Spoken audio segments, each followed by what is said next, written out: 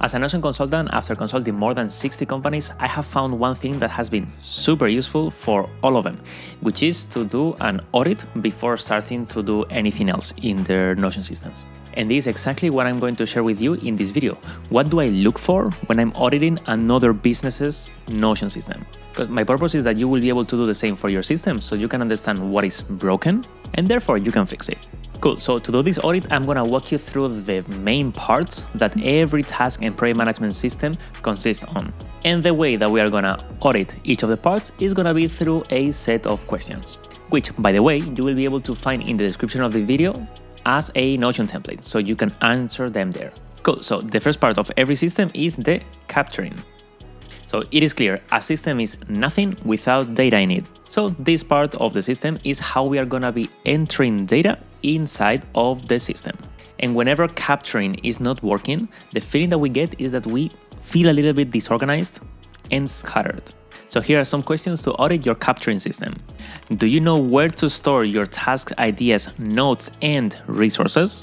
This is important because you shouldn't be thinking on where to store each of them whenever they come up. They should have a very defined process, and it should always be the same. Next, are you capturing information in more than one place? And if yes, why?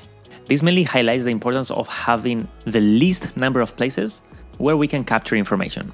If there is more than one place where we capture the same type of information, whenever we get that new, I don't know, idea for a task or whatever, we're gonna wonder where to store it. And one, we're gonna have a lot of friction because, yes, this will paralyze us. And second, if every time we store it in a different place, there are very high chances that the next time that we're gonna need that piece of information, we are not gonna find it. And lastly, how quickly can you go from thought to capture? To be truth, the time that we can hold a thought is quite limited. So, for example, how many times has it happened that you are on a shower, you have a thought of something, I don't know, super cool, a project, whatever, and then you get out of the shower and you forgot about it?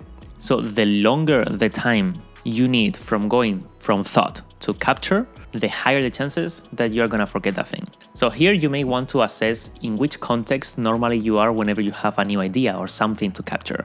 If you are always on the go, maybe you should optimize for having a mobile uh, way to capture thoughts. Or if you're mostly in Zoom meetings, so maybe you, you need a, a keyboard shortcut that will allow you to input information into your system.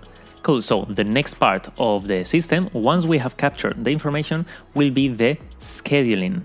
Remember that here we are talking about task and project management, so those tasks should be scheduled. So this is the next part of the process.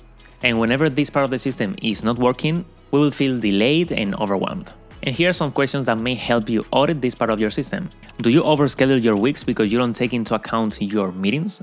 By the way, this is a very common issue. Not accounting for the time that we are in meetings will lead us to overscheduling. And therefore, at the end of the week, we will feel as if we haven't accomplished anything, when probably in reality it's not that true. But this is how we feel. And which for me is the most important question. Do you always know what you need to get done as soon as you start your work? To me, there is nothing worse than waking up and not knowing what to do. Why? Because if that is what happens, then you probably will end up scheduling your day right then and there. And this will lead you to don't have a grand scheme vision of, of things that are happening in your business and you will just have the day-to-day vision. And of course, this will affect your focus. Then the next part of the system is the executing. So this is basically doing what we have captured and then scheduled. If this part of the system is not working, we will feel overwhelmed and stressed because we will always have the feeling that there are things that needs to get done, but we cannot really handle them. So here are the questions. Do you know where you're at regarding your projects and what's left to do? Being able to see what are the next steps for each of your projects will certainly reduce the overwhelm that we feel about them. And we will get this feeling that at least, even if things are not done, but at least they are under control. Do you mark your tasks as complete whenever you complete them? Because this will help to keep your backlog of tasks always up to date. Because I don't know about you, but there is nothing worse than seeing your backlog of tasks, I don't know, 60 tasks, and to then realize, oh, I have done this one, oh, I have done that one. So that your backlog is not really up to date. And if you tend to forget about doing this, I mean, it is not the end of the world, but it is probably because whenever you are finishing your tasks, you don't have your task list or a way to complete your tasks at hand. So this has a very easy fix. It's another contextual view that we can create in Notion, for example. And lastly, and most important, do some of the tasks fall through the cracks and get forgotten, this to me will be the most clear indicator that something is very wrong with the system. And this is the one that can have the biggest negative impact in your business. If things get forgotten, identify what is happening, what got missed, and fix it with your workflows, which we are gonna see at the end of the video. After executing, we have review and planning. This is the part of the process that take a look at the past to see how we've done and at the future to plan what needs to get done. Whenever this part of the system is not working, we may feel unaware because we will have this feeling that we don't really have things under control. We don't really know what's going on. And burnt out because we will always be working in the business instead of on it. We will not have any perspective. So, basically, do you have a way to review your projects and tasks? This is something that I do personally every week, and it helps me to get that perspective. When was the last time that you reviewed your task backlog? Our backlogs can become the place where everything goes to get forgotten. So then what's the point on capturing them? So if we don't have the habit to review it, this is what's gonna happen. Could you easily tell which are the projects you are focusing on this month, this quarter, and this year? Again, talk about perspective. If we can easily do this, we will know where our business is gonna be at least in one year, more or less. Okay, things change, but at least we will have the path. And then, most important of all, do you have the perspective of where your business is going? Because if we are always in do mode, in the execution part, just doing the thing, we won't really have the time nor the perspective to understand if these things that we are doing, if they're actually bringing us to where we want to go or where we want our business to go.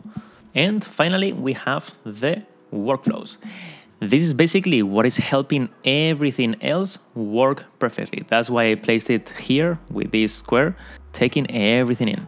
If we don't have good workflows, we may feel inefficient because you may be reinventing the wheel for every new task that comes or for every project that comes. And distracted because due to the lack of workflows, you may lose focus while doing a certain task or while doing like some admin work. Because if you don't have a workflow to guide you, every time you may do it differently, which in the end, it will also increase the chances that you get unfocused. Because when something is difficult to do, we tend to unfocus and try to do something else. So, yes, workflows also help with making things much easier. And here are some questions. Do you have to remember how to do a task you do often and sometimes you miss something? This could be a tiny or a huge time waster, depending on the task that you need to do. Do things fall through the cracks because they weren't tagged or organized properly and got out of sight? Because if we lack workflows and organization, we may be missing out on things simply because they just don't resurface where we have set them to resurface. How easy is it to find the information that you need to get your work done? And here I'm talking about guides, about SOPs, about how to, support templates, logins, and so on. And finally, how many of the things that you do often you think could be automated? And here I'm talking about client onboarding, invoicing, task creation whenever a project reaches a certain state, finance tracking, like all of this. Regarding workflows, there is good and bad news. The good news is that typically workflows are easily fixed, but the bad thing is that it is hard to see that we have a workflow problem because we tend to take things for granted that this is how things are. But probably there are some workflow problems that we are not really seeing. Okay, so with all these questions, I hope that now you know where your business system stands. And now let me give you some unsolicited words of advice. Systems should be as simple as possible, but not simpler. Every time that I'm consulting a client and the client wants to even add one property to one database, if to me it is not very clear why he wants to do it, I'm gonna ask why. And unless he tells me like a real reason why this new property is gonna be helpful, we're not gonna include it because this increases the maintenance work of that property, the complexity of the system, and if we don't have an ROI, a return on, on investment, for increasing the complexity of the system, we are not going to include it. And the second piece of advice pay attention to your friction points because self awareness is super important when we are testing our systems because you shouldn't force yourself into a system because this is very typical when people download a notion template and they try to work as the notion template tells them to work that is not really the way. Be aware of what's bothering you inside of the system. Let's say, I don't know, like I said before, you forget to mark a task as complete and this bothers you. Okay, so let's find out why. Don't just be oblivious to that friction or to that feeling and try to fix it because systems are iterated over and over. And finally, if after auditing your system you want me to take a look and help you improve it, I'm gonna also leave in the description of this video a link to schedule a qualification session together, where we will see if we can partner up to set up your business systems and automations. Well, so that is it for this video, and as always, hasta la próxima.